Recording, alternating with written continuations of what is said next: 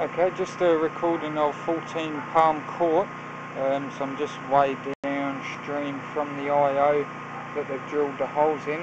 Um, it's actually for, must be the bathroom because it's grey water. Um, yeah, first thought it was for the septic and ran upstream from the septic tank, but no, it was all good. But yeah, so this is way down at the end of the trench at the moment. Um, as you can see, I've just pushed the camera through it all nice and easy just obviously holding holding water. It's a bit sandy as well, so there might be a bit of sort of sand and whatnot that's actually in the pipe.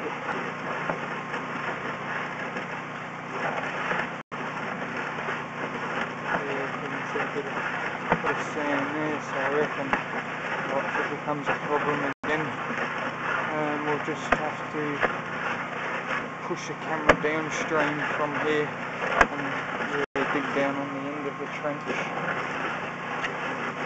look at it and get back from that way. I'm just sort of covered in hair and sand here.